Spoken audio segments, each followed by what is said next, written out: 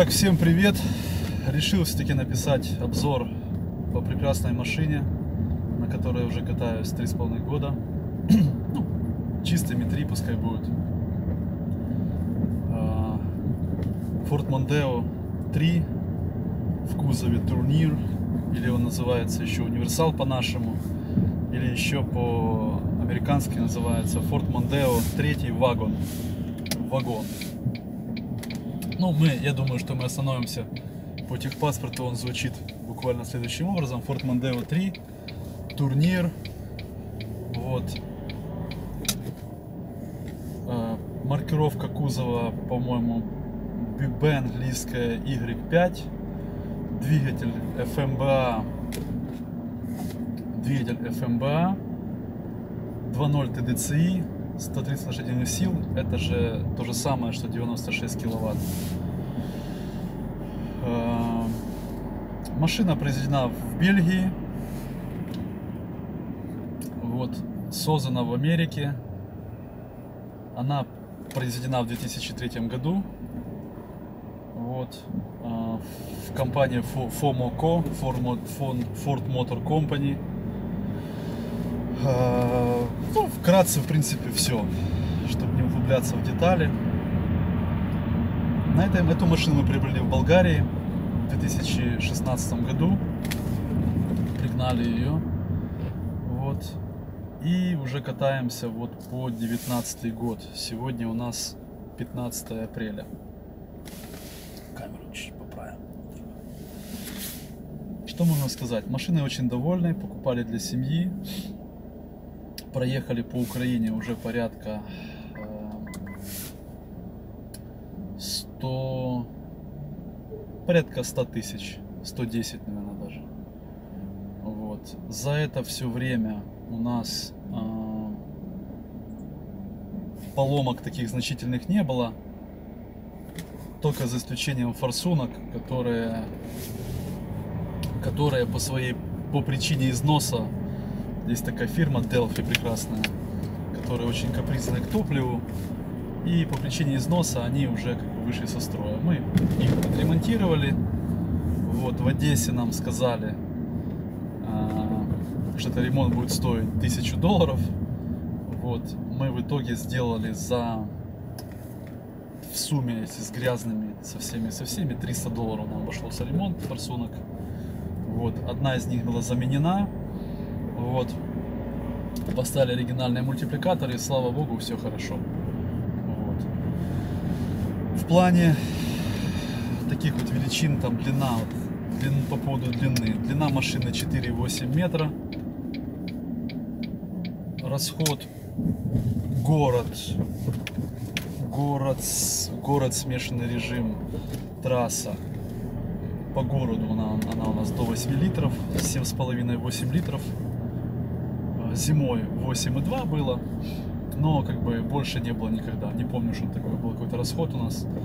Возможно, что мы живем больше в таком, ездим в смешанном режиме за город. Возможно, из-за этого как бы такой расход. По трассе район 6 литров, в смешанном режиме 6,5-7. Вот. А, по поводу Давайте сразу скажу по поводу обслуживания. Заливаем оригинальная Ford. 6 э, литров вмещается 5,5, пол-литра на долив у нас идет. Выходит масло у нас где-то 950 гривен. Стоит, покупаем на сайтах с голограммами, выбитыми лазером, так называемые. Кто, ну, кто, кто, кто любитель, они даже знать. Вот, бывает куча акций. Короче, до, до 1000 гривен выходит масло.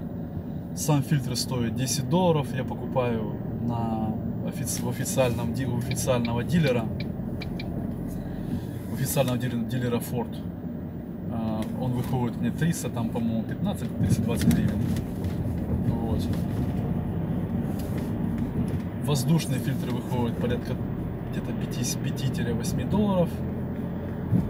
Фильтр салона выходит порядка где-то 300 гривен, 10 долларов, 10 евро. И Так, фильтр масла сказал, фильтр масла само сказал. А, Фильтр салона сказал, воздушный сказал. Вот, ну, как бы резина 16 здесь.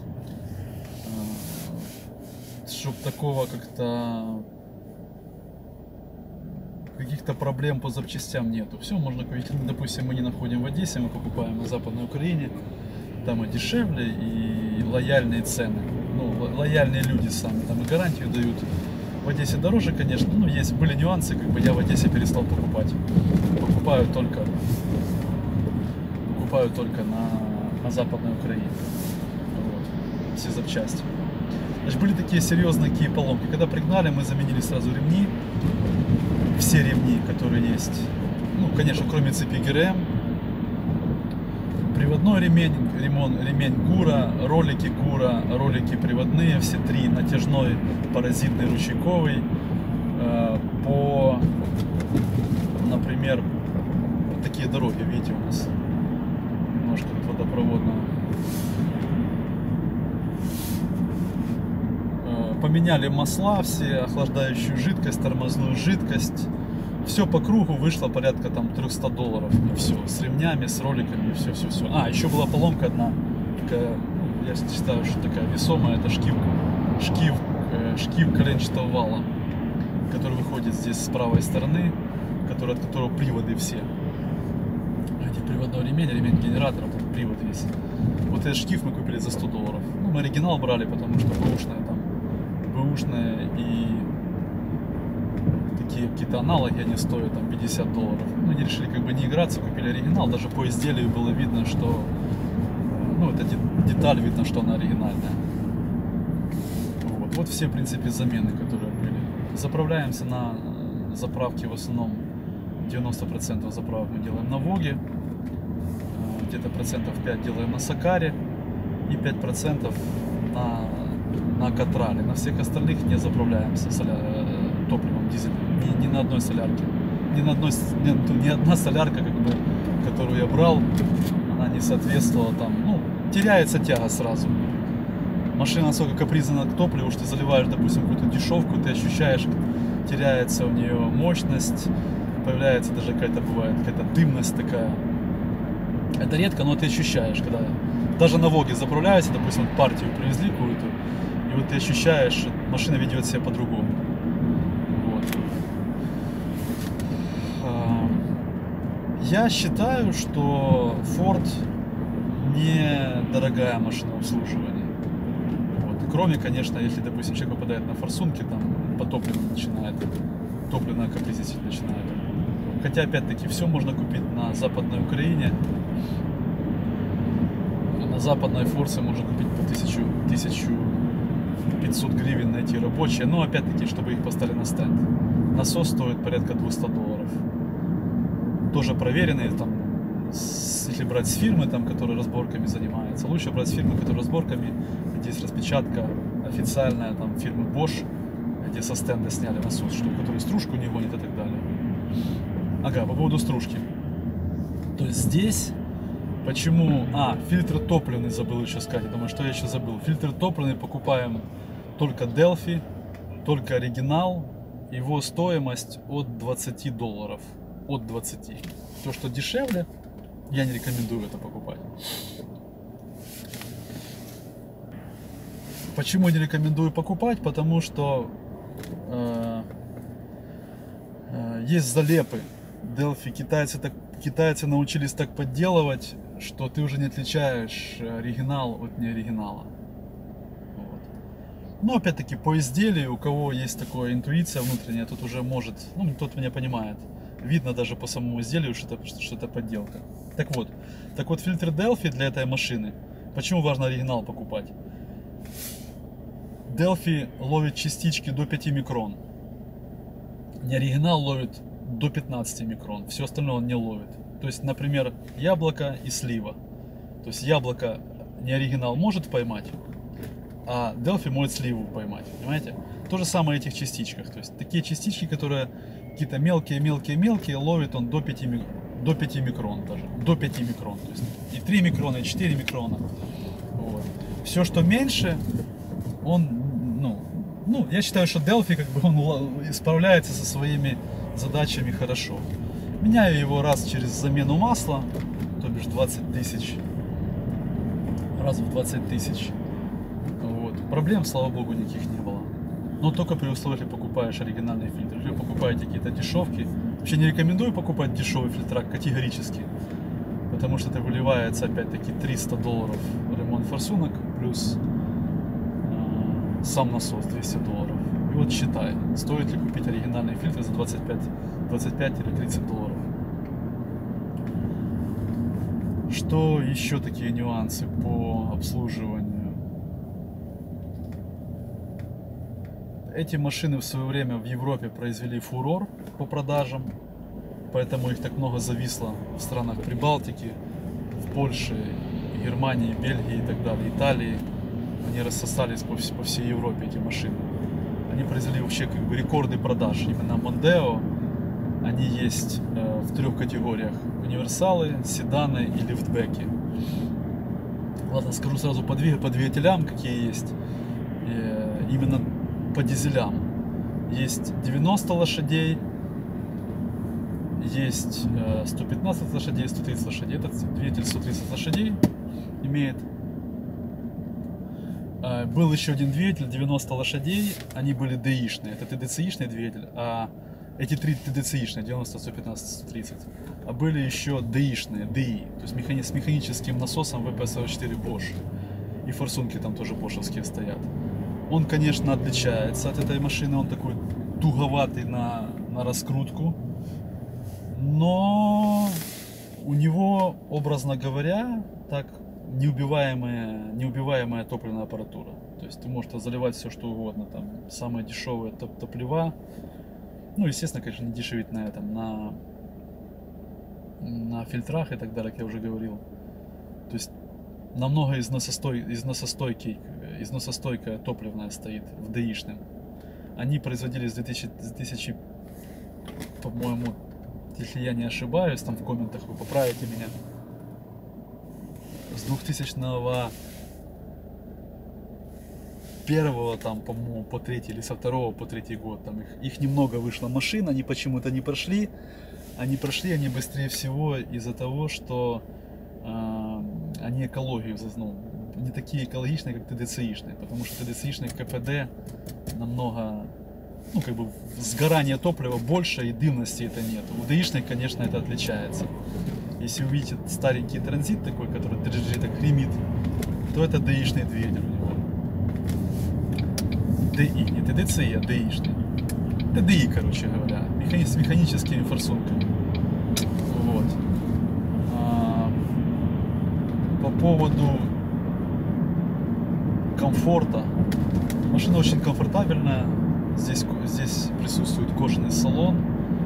Есть э, обустроенная задняя задние парктроник задний есть из-за длины машины неудобно парковать вообще рекомендую всем владельцам такой машины поставить себе парктроники задние, хотя бы задние для начала потому что именно зад а, задняя часть машины как бы есть мертвые зоны которые ты не видишь я тоже цеплялся там пару раз такие были меня там где парковка у нас мы немножко там ну, парканулись короче и поцарапали сзади бампер там незначительно но и, и то парктроники были, просто музыка громко играла, и не услышали. А, По... Что еще важного по этой машине? По запчастям, ну, как сказал, все есть. Все. Абсолютно все. Следить за топливной, самое важное, подчеркну. Следить за маслами, покупать только оригинал, менять вовремя обслуживаться у нормальных людей, у которых руки выросли с того с правильного места. Вот. Ну и лучше, конечно, чтобы был свой мастер, который вам поможет, э, ну, который, который будет ответственный, который будет качественно делать работу. И у него, в принципе, одного обслуживания. Не менять, там, не прыгать с, э, мастера на мастера, типа там тут лучше сделать. Одного найти добросовестного и пускай он делает. И не экономить, конечно же, на запчастях. Особенно на топливе, на фильтрах. И особенно на топливо, на топливном фильтре. Вот. А,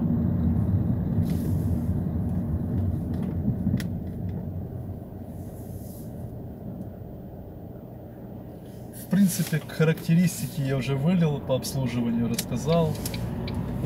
По маневренности расскажу. Э, По набору динамики, вот сейчас я тронулся со второй, с первой, вторая, третья, вот четвертая. Э, По динамике машинка достаточно резвая. Показывает себя на 130 лошадиных сил, есть здесь 130 лошадиных сил. Но здесь очень мощный крутящий момент, порядка 400, а, 400 ньютон на метр. Очень мощные низы здесь. Э, Конечно, при условии, если форсунки хорошие, их и турбина живая, да? Ну и топливо, соответственно, должно быть толковым. Очень маневренный, очень... Я вот со своими двух, двумя ме- метрами, вот мне тут метр девяносто четыре, да, я вот сижу, и я доезжаю до Киева 500 километров, часто в Киев мотаемся, я, у меня с моей спиной нормально все. Тут на пассажирском месте есть подстройка, подстройка туда и сюда, вперед-назад, и спинки вниз, вниз, вниз и вперед, вперед-назад, короче, то есть вниз-вверх, короче говоря. Сидушка не, не поднимается, к сожалению, вверх-вниз нету. Привод есть, но там что-то шестеренки то ли не доделаны, то ли, то ли так оно и было, то ли, то ли кто-то убрал его, ну, нету такого вот, как вверх-вниз, то есть нельзя поднять там эту часть сидушки там вверх. Ну вот. А, привод, приводы всех по кругу стекол, электроприводы. А, а, Что еще са- такое по комфорту? Ну, кожаный руль, само собой, у Фордов это как бы не классика, у них самая дешевая базовая, базовая модель, у них кожаные рули, само собой. Ну, на то время такое было, это было модно на то время. Сейчас уже и подогревы, там и датчики дождей разных и так далее, и так далее. А, Вот. Тут датчика дождя тоже нету.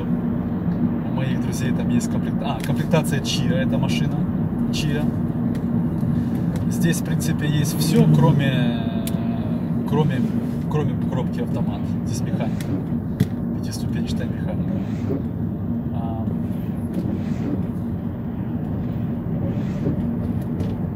кон- достаточно комфортабельная машина. То есть помещаемся всей семьей. Можно в пятером четко. Я беру, конечно, час чаще всего 4 человека на борт. Вот. Ну и малыш наш сынок, то есть вот, пятый, пятый человечек, человечек у нас. Вот. Никаких проблем нет, уютно всем, у всех место есть, у всех отдельная зона есть. Вот. По поводу а, хороший сигнал есть, удобная, удобный а, панель управления удобная, климат-контроль а, обычный, простой такой, не, не, не двухзонный, обычный. Вот. Эм, Магнитола тоже самая обычная, Sony их 6000 CD, только предыдущая, не та, которая такая модная с наворотами, там такими кнопками. Обычная такая, то есть магнитола, которая савдеповская. Просто неудобно камеру. Можно будет в интернете понаходить вам еще. Сейчас поедем по фонтану, там дорожка получше и попроще, там можно меньше этих меньше машин в фонтане. Сейчас там такая часть Одессы, где более люди как состоятельные, они любят долго спать. Как, как в принципе и все мы любим дол- долго спать. да. Вот. Так, пойдем по Кастанье.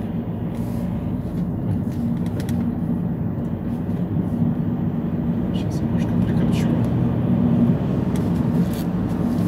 Ощущается вот сейчас на пятую. Уже иду 80 по городу. В динамике, по динамике отлично. А, На спидометре 240. Думаю, 240 она не пойдет это конкретно эта машина. Думаю, шестиступка пойдет 240. Но на ней я выжимал максимально 180. Я так люблю спокойную, спокойную езду. И мне этого хватает. То есть на 140 на 150 машинка себя отлично ощущает. Это ее, можно сказать, крейсерская скорость. Ну, 140. 150 такая она уже. Тем более наши дороги благословенные, но о себе дает знать. 130-140 это ее, ее скорость. Вот. Расход, расход при этой скорости стабильно где-то 6,2, 6, 6,2.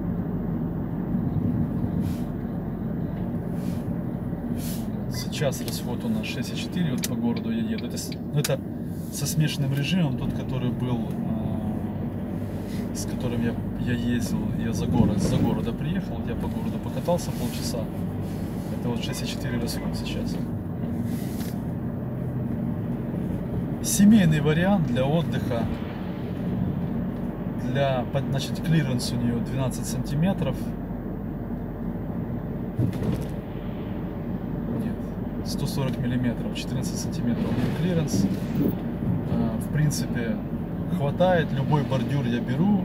Ну, не любой бордюр, конечно, такие, которые вот ст- стандартные бордюры, я все как бы без проблем прохожу. То есть, если нужно подняться на бордюрчик раз, то есть пере- перескакал, перешагнул и поехал.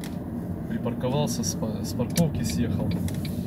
Единственное, когда купили машину, выехали на фонтан уже, когда купили машину, я левым краем, левой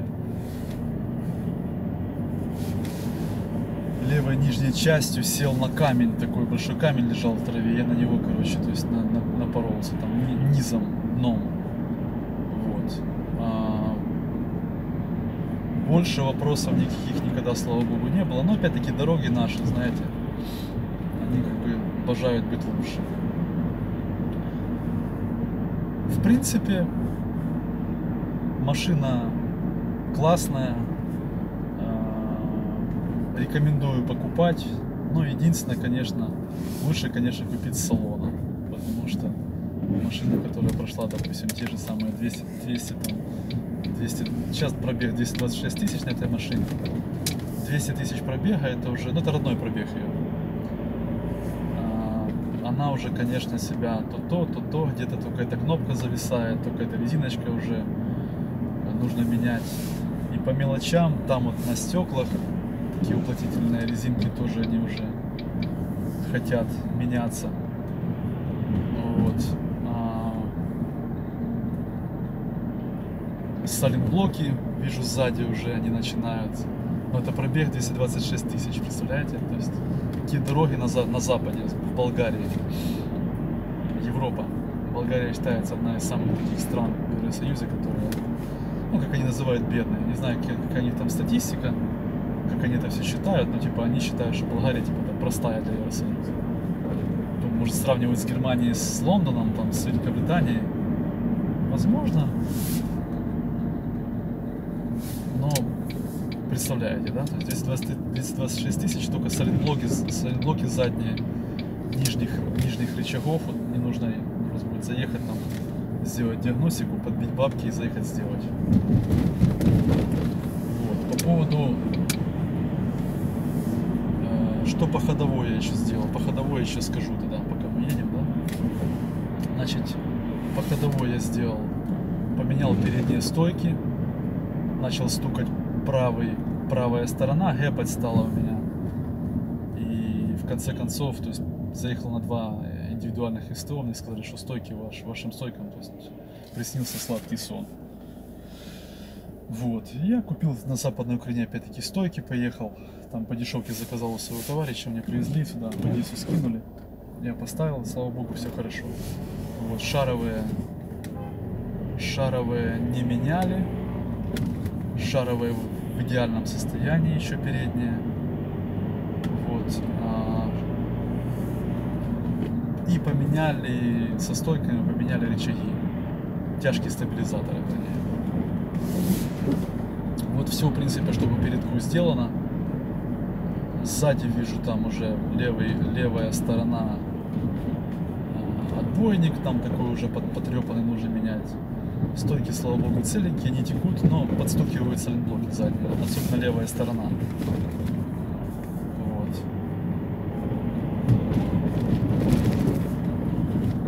Все остальное нареканий нет, нету.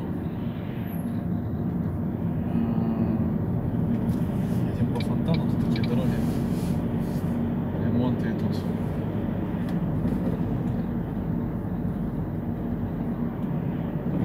Маневренность в городе отличная. Такой, в принципе, не широкая машина, такая компактная, можно сказать. Длинная при этом. Допустим, для тех, кто живут, допустим, на Радужном у нас там люди, то... Ну, это, конечно, проблемно, можно сказать. Как в Одессе говорят, будем, будем, будем, будем говорить. Будем, будем говорить, что на Радужном это будет проблемно. Поводу город, город за город, поселок Котовского, центр. Ну, в принципе, как бы она везде нормально. Я их кучу в городе вижу, этих машин массу. Мондео, седаны. Ну, конечно, больше всего универсалов. Потому что европейцы, они настроены больше на поездки в Альпы там и так далее. Лыжи кинул наверх и поехал. Они более такие... Ну, можно, я думаю, что все-таки Европа, она более путешествующая страна. Ну, и, конечно же, в первую очередь упирается в режим зарплат, их уровня жизни. Вот. То есть у них как бы ре- ре- режим, режим таких путешествующих таких людей, знаете. Так что это норма для них универсалы. Вижу и Volkswagen, и даже такие уни- уникальные какие-то машины, которые в принципе никогда не видел, что, ну, что может быть э, универсал, и он как бы есть такой универсал. То есть, допустим, я редко встречаю только в универсале, по-моему, B6 только виде- вижу. Ну вот, фольцы B6. А когда вот открылся рынок с Европой, когда начали загонять массово европейские тачки, то ну, масса. То есть универсалы во всех Фольцы, Форды, э, Тойоты, э, какие там еще Hyundai куча разных есть, которые тоже на универсалах, да. Уникальные такие машины, которых как бы раньше ну, на украинском рынке не было универсалов. Они реально как бы заехали то с Европы. Да, если будут какие-то вопросы у людей, э, вы можете задавать.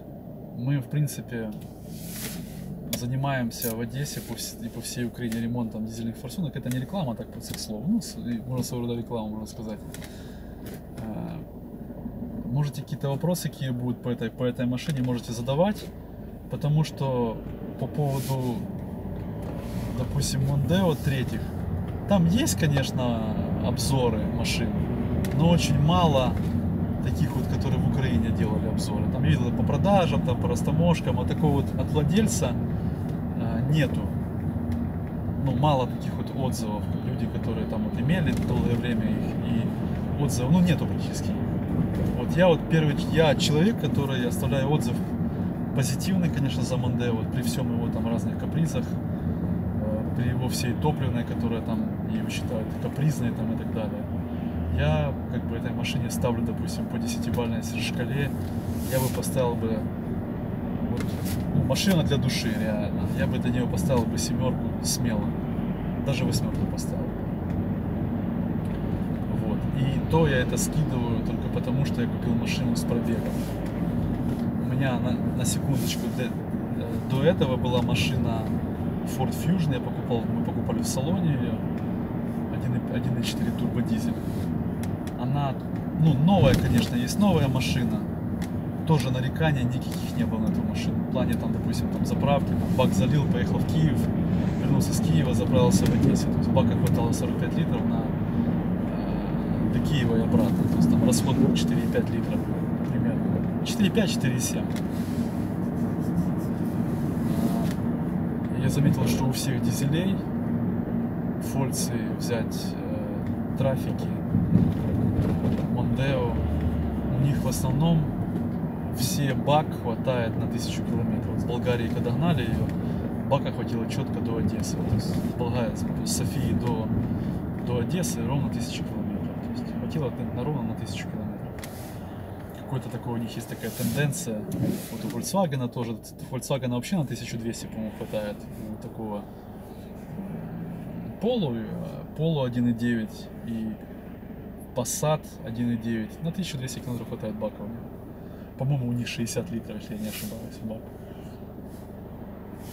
Вот. Сейчас пишите комментарии, задавайте вопросы. Самый худший вопрос это не заданный вопрос. Давайте вопросы, на все их отвечу, что знаю. Посоветую поставщиков, посоветую какие-то там. Самое важное это, конечно, дать дельный совет, потому что э, ну, можно совет просто дать там где-то наслышался, а я просто на этой машине катаюсь. Я могу по ней как бы сказать многое. Я имею, имею что сказать по этой машине многое. Так что задавайте вопросы, пишите в комментариях. Буду рад за ваши лайки, за вашу подписку. Обращайтесь, буду рад. Совет, у меня есть, кстати, там телефон, я оставлю в описании. Вайбер мой есть, есть Телеграм. Не знаю, как там из России люди будут писать, на Телеграм у вас работает, не работает. Ну, в любом случае, Вайбер есть, пишите. Вот. И вообще просто пишите комментарии снизу, я даже в комментариях отвечу. Все, всем удачи. Для критиканов. Я сделал все, что мог. Кто, кто сможет лучше, пускай сделает лучше. Всем удачи. Любите свою машину, какой бы она ни была. Вовремя ее обслуживайте, меняйте, меняйте масло. Молитесь перед поездкой, перед тем, как вы выезжаете. Бог вам помощь в дороге. Всем успехов, удачи. Делайте правильный выбор на выборах 21 числа. Верю, что Украина еще расцветет. Всем удачи, с Божьей помощью, благословений.